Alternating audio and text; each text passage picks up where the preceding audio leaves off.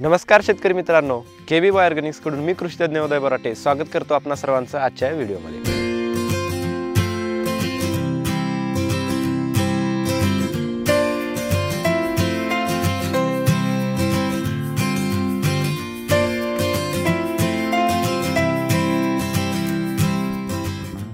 शेतकरी मित्रांनो टोमॅटो या पिकाची शेती करत असताना वेगवेगळ्या किडी व रोगांना आपल्याला सामोरं जावं लागतं. परंतु त्यासोबतच विषाणूजन्य रोग ज्याला आपण व्हायरस असं म्हणतो याही समस्येला आपल्याला खूप मोठ्या प्रमाणात तोंड द्यावं लागतं. परंतु आता चिंताच नको कारण केबी बायोर्गॅनिक्स घेऊन आलेला आहे व्हायरोरेज जे की अठ्ठेचाळीस तासामध्ये तुमच्या पिकातील व्हायरसला पूर्णपणे नियंत्रण देते. विषाणूजन्य रोग किंवा व्हायरस हा असतो तरी काय आणि हा येतो कुठून?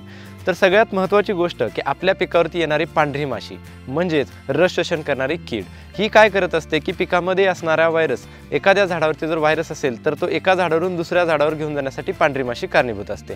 तर शेतकरी मित्रांनो सर्वात महत्त्वाचं की आपल्या पिकावर येणारी पांढरी माशी आपल्याला नियंत्रित करणं महत्त्वाचं असतं.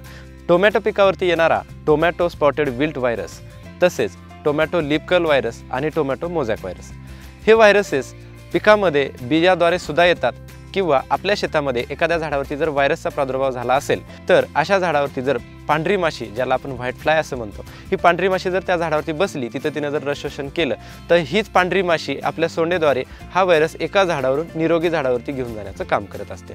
त्यामुळे शेतकरी बंधूंना सगळ्यात महत्त्वाची गोष्ट आहे की आपल्या शेतामधील पांढरी माशी नियंत्रित ठेवणं. परंतु बाजारामध्ये उपलब्ध असणारे विविध कीटकनाशकं न वापरता किबी बायोऑर्गॅनिक्सचं व्हायरोरेज हे जर प्रोडक्ट तुम्ही वापरलं तर यामध्ये कीटकनाशक ही प्रॉपर्टी प्रथमतः असल्यामुळे तुम्हाला कुठल्याही प्रकारचं कीटकनाशकावरती एक्स्ट्रा खर्च म्हणजे जादाचा खर्च करण्याची गरज नाही.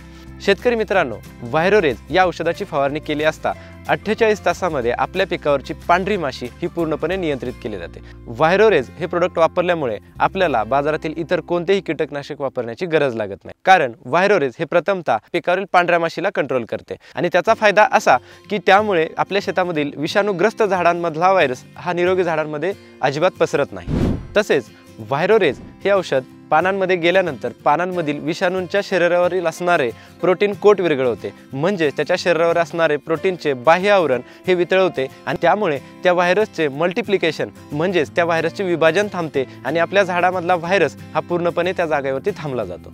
परंतु शेतकरी मित्रांनो आजपर्यंत आपण असंही पाहिलं असेल की व्हायरस एकदा झाडावरती व्हायरस आला की तो व्हायरस आल्यानंतर ती झाडं पूर्णपणे कधीच रिकवर होत नाहीत. नंतर ती झाडं आपल्याला उपटून प्लॉटच्या बाहेर फेकून द्यावे लागतात.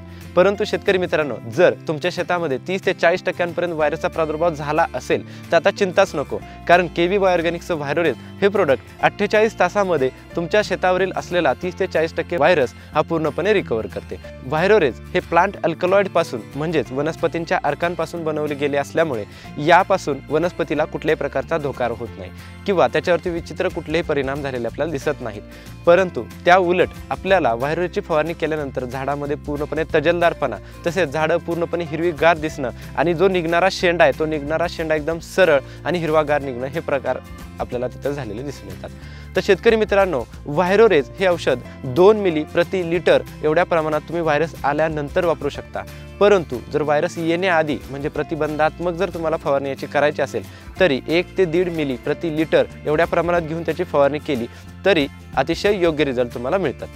तर शेतकरी मित्रांनो तुमच्या पिकामध्ये जर व्हायरसचा प्रादुर्भाव जर आढळला किंवा त्याचा प्रादुर्भाव होण्याआधी तुम्ही जर व्हायरोरेजची फवारणी केली तर तुम्ही शंभर टक्के तुमच्या प्लॉटला व्हायरस फ्री ठेवू शकता आणि तुम्हाला त्याचे खूप चांगल्या प्रकारे रिझल्ट आलेले दिसून येतात. शेतकरी मित्रांनो तुम्हाला आमचा आजचा हा व्हिडिओ कसा वाटला हे कमेंट बॉक्समध्ये नक्की कळवा. तसेच आमच्या व्हिडिओला लाईक शेअर आणि चॅनलला सबस्क्राईब करायला मात्र विसरू नका. धन्यवाद.